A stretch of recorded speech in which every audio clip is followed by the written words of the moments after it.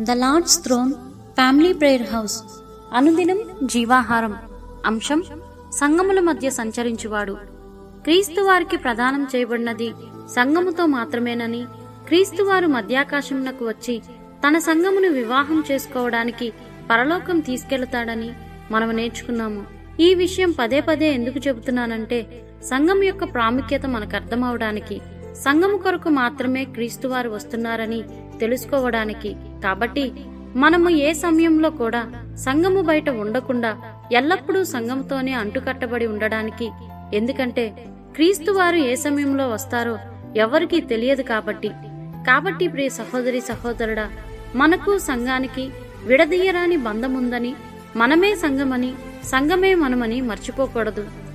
ప్రకటన గ్రంథము రెండవ అధ్యాయము ఒకటవ వచనంలో ఏడు నక్షత్రములు తన కుడి చేత పట్టుకుని ఏడు దీపస్తంభముల మధ్య సంచరించువాడు చెప్పు సంగతులేవనగా అని వ్రాయబడి ఉంది.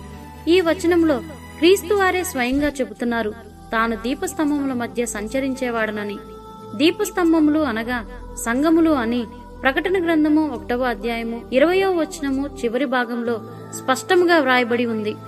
చూశారా? క్రీస్తు వారు ఎల్లప్పుడూ కూడా సంఘముల మధ్యలోనే ఉంటాడు. ఎందుకంటే సంఘమును ఆయన తన రక్తముతో కొన్నాడు కాబట్టి సంఘము తనతో ప్రదానం చేయబడిన కన్యక కాబట్టి కన్యకగా ఉన్న తన సంఘాన్ని ఎవరైనా అపవిత్రపరుస్తారని ఆయన సంఘముల మధ్యలోనే సంచరిస్తుంటాడు. సంఘాలను కాపాడుతూ హెచ్చరిస్తూ సరియైన మార్గంలో నడిపిస్తుంటాడు.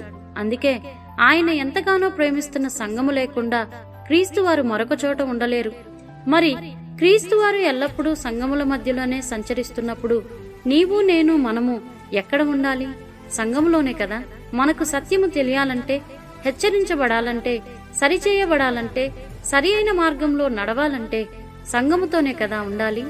కాబట్టి మనం ఏ సంఘంతో ఉన్నామని మళ్ళీ మళ్ళీ పరిశీలించుకుందాం ప్రియ సహోదరి సహోదరుడా. ఇది తేలికగా తీసుకునే విషయం కాదు. నీ నా నిత్యత్వానికి సంబంధించిన విషయం. క్రీస్తు వారితో యుగయుగములు సంతోషకరమైన జీవితానికి సంబంధించిన విషయం. ఇలాగే తన్ను తాను పరీక్షించుకోకుండా మోసములో జీవిస్తున్న ఒక సంఘం గురించి ప్రకటన గ్రంథము మూడవ అధ్యాయము పద్నాలుగు నుండి ఇరవై రెండు వచనాల్లో రాయబడి ఉంది. లవదూకియా అనే సంఘములో క్రీస్తు వారు బయట నిలుచుండి తలుపు తడుతున్నాను అంటున్నాడు. నా స్వరం విని తలుపు తీయండి నేను లోపలికి వస్తాను అంటున్నాడు. అంటే సంఘములో క్రీస్తు వారు లేరనేగా అర్థం. కాని లోపల ఉన్న వారందరూ ఈ లోకానుసారముగా బాగా ఆశీర్వదించబడిన వారుగా ఉన్నారు. తమకు ఏదీ తక్కువ లేదని అనుకుంటున్నారు. దారి తప్పి జీవిస్తున్నవారుగా ఉన్నారు.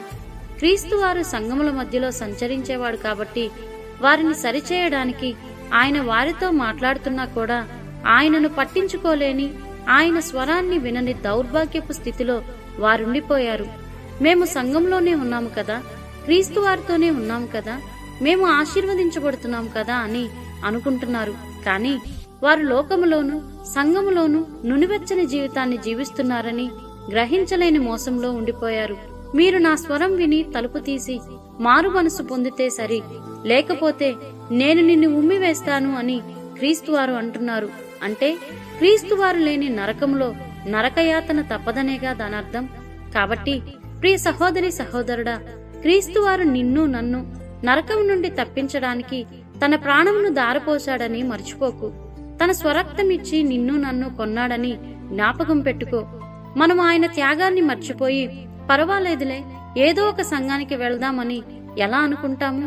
చిన్న సంఘము కదా అనామకులు వచ్చే సంఘం కదా అని వాక్యానుసారమైన సంఘాన్ని తృణీకరిస్తున్నావేమో?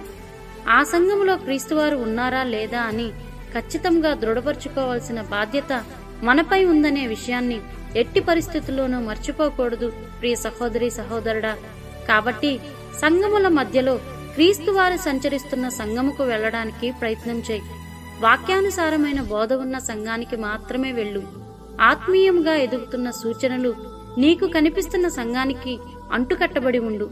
అంతేగాని నీలో మార్పు తీసుకురాని ఎంత పెద్ద సంఘమైనా నిన్ను ఆలోచింపజేయని ఎంత పెద్ద బోధకుని బోధనైనా నీవు లక్ష్యం చేయవలసిన అవసరం లేదు. కాబట్టి ఈ రోజే ఒక సరి అయిన నిర్ణయం తీసుకో. క్రీస్తు వారు శిరస్సుగా కలిగి ఉన్న సంఘంతో మాత్రమే సహవాసం చేయి. అట్టి కృప దేవుడు నీకు నాకు మనకు అనుగ్రహించునుగాక. Amen amen amen.